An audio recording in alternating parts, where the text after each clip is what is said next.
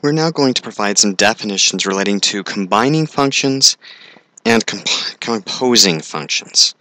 And so we're going to start with combining functions, and this is when we take two functions and do an arithmetic operation on their outputs. So for instance, if we say we have the sum of two functions, that means we took f of x and added it to g of x. The difference functions are f of x minus g of x. Product is f of x times g of x. And the quotient is f of x divided by g of x. And the only one of these that has any considerations is we need to make sure that g of x is not the zero function. As long as that's true, then we can do any of these operations and we get a resulting function.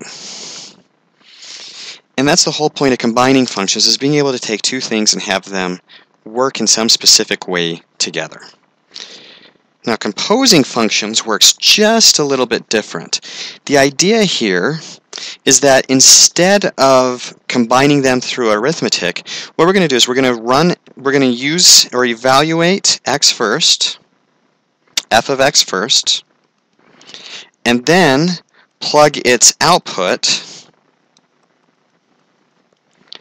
into g of x, such as g of f of x.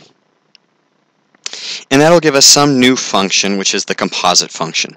So this is actually how, you, if you evaluate without a calculator, even with the calculator, if you're, if you're trying to evaluate, we tend to do just the small pieces at a time and then use the combining functions and the composite functions to build our final answer. The decom decomposing, decomposite functions is when we start with a single function,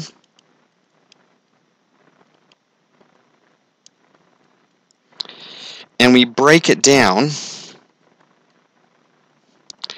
into basic functions. So we identify the basic functions that are done, and then we're doing decomposition. And we found our decomposite function.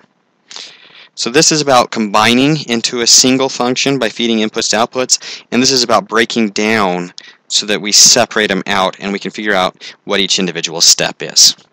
So that's our definitions for this section.